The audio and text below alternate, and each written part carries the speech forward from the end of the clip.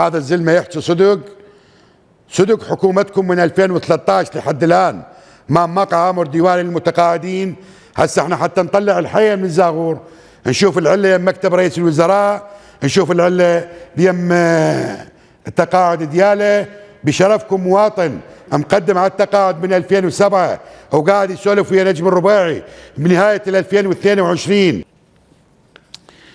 عندي بما تبقى من الوقت الأخ محمد هادي جار الله حسن التميمي.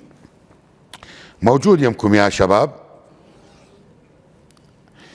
محمد بن الجيش السابق يقول رفعت معاملة الحاله على التقاعد من سنة 2007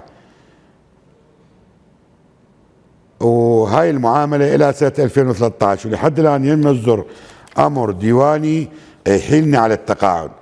راجعت أكثر من 100 مرة والجواب الوحيد اللي حصلته أقعد بالبيت وإحنا نخابرك.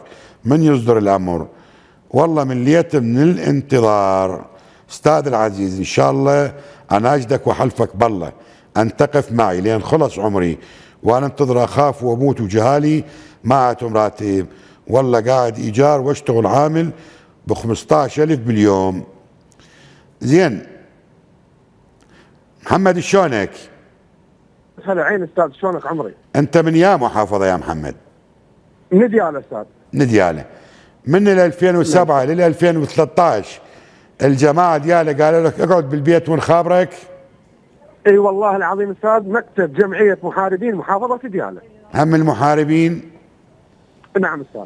زين من 2007 ل 2013 كم سنة؟ ست سنوات. أه ست نعم. سنوات. زين ست سنوات. ماكو رصيد. ما اشتغل رحت لهم خلال هاي الست سنوات. والله أستاذ لحد يومي هذا لحد ال 2022 أنا اراجع يعني مو بس ل 2013 آه. وما والله دقوا. العظيم. ب- إي. العفو أستاذ تفضل. إي وياك إي. أستاذ والله العظيم يعني أنا والله مليت بالقرآن مليت زين شو يقولوا لك. معاملتك بها نقص أخ محمد؟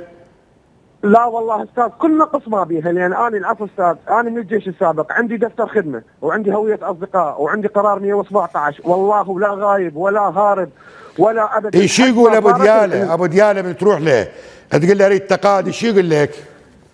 يقول لي آه، ماكو يقول لي حد الان ما صادر أمر ديواني بيكم من يصدر إحنا نخابرك أعطينا رقم تليفونك يا هذا بمامور الحكومة. ديوان من 2007 يعني السيد المالكي صار رئيس أو صار رئيس النوب وجا وراه حيدر العبادي وجا عادل عبد المهدي وجا الكاظمي وبعد ما صادر بيك أمر ديواني.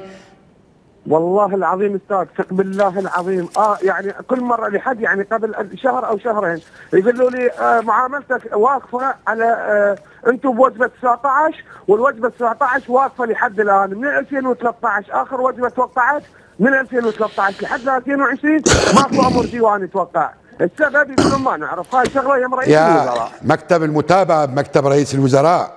هذا الزلمة يحكي صدق. صدق حكومتكم من 2013 لحد الآن ما مقع أمر ديوان المتقاعدين. هسه إحنا حتى نطلع الحيه من الزاغور. نشوف العلة يم مكتب رئيس الوزراء نشوف العلة بيم آه، التقاعد دياله.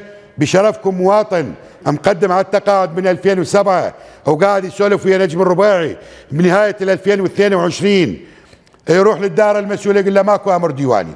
أبو دياله يسخن مكتب رئيس الوزراء ومكتب رئيس الوزراء إحنا الآن يا مكتب متابعة شؤون المواطنين.